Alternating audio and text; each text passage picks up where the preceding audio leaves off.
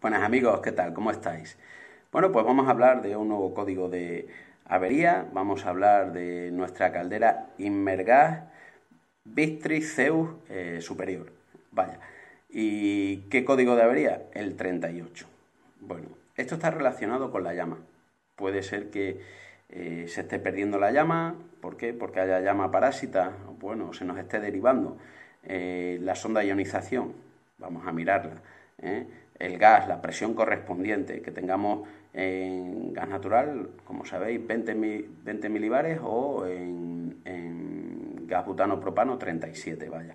Entonces vamos a comprobar los electrodos, vamos a mirar los cables, que estén correctos, que no estén pelados, que tengan su aislante, conexión a, dicho dispositivo, electrodo, sonda de ionización o a la misma placa electrónica. ¿eh? Pero que sepamos que este código, pues la llama eh, se, está, se está perdiendo, ¿vale? Chao.